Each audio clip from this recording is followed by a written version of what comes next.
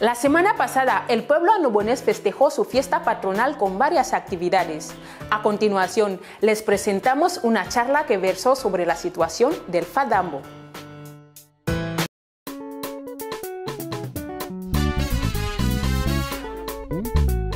Otra de las actividades realizadas con ocasión a la festividad de San Antonio de Palé fue esta conferencia, hecha por el Laboratorio de Recursos Orales del Centro Cultural de España en Malabo, titulada La situación actual del Fadambo.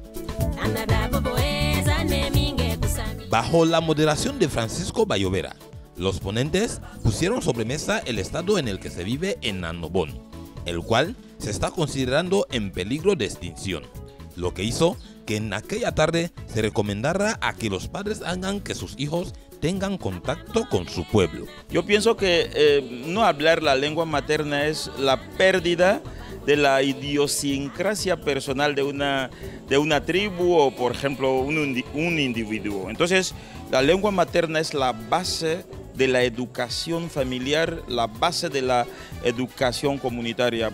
Una de las cosas descubiertas en este día fue cómo surge el Fadambo, en tanto que se dejó claro que la única manera con la que se puede luchar para la no desaparición de esta lengua es hablarla ya.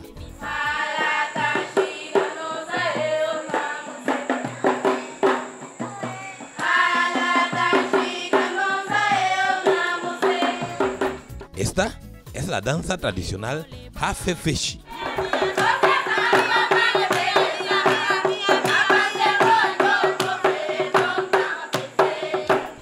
Hafefeshi. Hafefeshi en español lo traduciríamos a por qué las cosas han sucedido así, por qué así.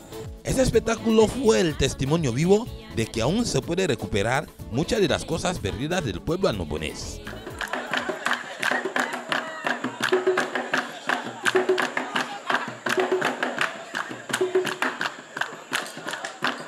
La danza esta está basada en una historia que pasó hace mucho en la isla de Anobón, en la que el pueblo, el pueblo de Anobón estaba pasando por un momento de penuria, no había comida en las fincas, no había, los hombres salían a la pesca y no conseguían nada. Entonces tuvieron que pedir a Dios para que pudiera mandar la lluvia, para que haya cosecha, ¿no? Entonces la población tuvo que ir a pedir a Dios.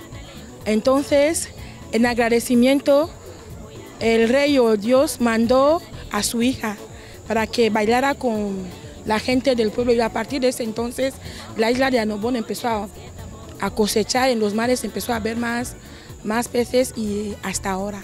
Todo aquel que se encontraba en el Centro Cultural de España Malabo en aquella tarde pudo escuchar el sonido de los tambores de esta isla ecuatoguineana.